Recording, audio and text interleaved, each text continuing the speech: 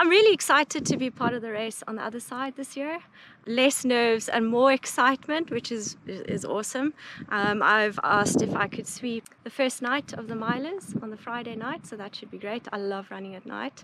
That will also just be great training for me because I'm doing UTMB um, in August. Yeah, and then I'm just going to help. Also, I'm going to help Jock and the guys do some route marking and at registration. Um, I think it's just great to be to be on the other side for a change. Yeah. You know, not not racing. Yeah. Tell us about uh, how the year's gone. Obviously, UTMB coming up. It, it is a big one for you.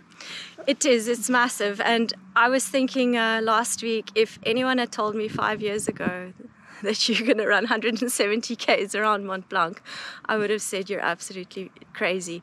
But here it is, and it's coming. And yeah, the, the plan this year is just to get there strong and healthy you know and that was also mm. part of my decision for not racing MUT is it takes a huge toll on your body um, not just physically but also mentally. And i just wanted to get to to utmb feeling fresh and motivated. Yeah. So what are the goals? Have you set goals? I know amala it's very difficult. I'm aware to set a goal because more often than not the race will tell you on the day what you're going to do. Exactly. So racing a miler and just going doing a miler are two very different things obviously plan A is to finish.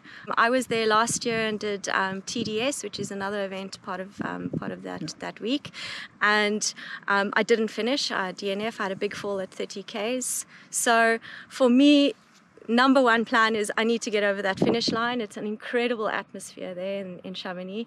And then obviously, I think from around 100k mark, that's when you can, if you're feeling great or you're feeling good, then you can say, okay, I want to make certain times. Um, but at the end of the day, it's it's all about the experience. It's about soaking in the vibes. There are yeah. thousands of runners. You know, for the first three four hours, you're basically in a queue on a single track. Yeah. So um, yeah, just uh, just take it as it comes. We saw Ryan last year. Yes. Uh, uh, do you are you in touch with Ryan? Do you speak to him now with the race with with UTMB coming up, and maybe just get some pointers from him? I'll definitely be reaching out. Yes. Um. Uh, you know, I've seen Ryan in Cape Town on on the trails a lot. Yeah. So I'll definitely reach out to him. I just remember Matt last year, the incredible time he ran. And uh, I just remember at the prize giving saying to him, you know, you could have turned around and done it again and still finished before me. So he's incredible athlete, and I think we can learn a lot from him. So I'll definitely um, ask him for some tips and advice. Colleen, the the younger guys and younger athletes who are doing their first uh, MUT this year, and I'm not necessarily talking about the miler because that's not going to be inexperienced runners, but I'm talking about those newbies that are tackling their first 20k run. And I know a couple of people who are very excited. What advice, as coming from somebody who loves these mountains, you know the mountains, what advice would you give to a newbie?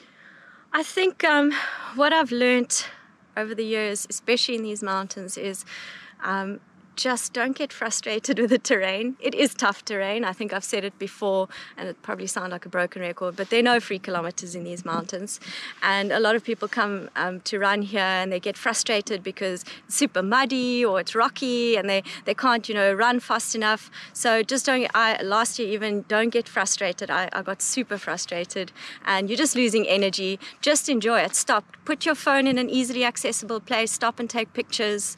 Soak it all in and experience experience it because it is truly, truly spectacular terrain, and, and you can see behind me beautiful backdrop. Yeah, looking up at uh, Peak and George Peak. Peak. But you were up the summit of Cradock Peak a few days ago, I saw. I was yesterday morning yeah. um, up, up George Peak and Cradock Peak, and it was very cold. Yeah. Um, you can feel it's it's definitely changing. So yes, compulsory gear in terms of just trail running, not just this terrain. Compulsory gear and practice with your gear. Yeah pack it all in on your training runs because it really it is you know otherwise you it's it's a shock on race day and your shoulders are tired so yeah, yeah just practice with all your gear and just taking me into the last question speaking about the mountains people who aren't ready for MUT this year but they want to hike um, there's very few qualified guides hiking guides in the garden route.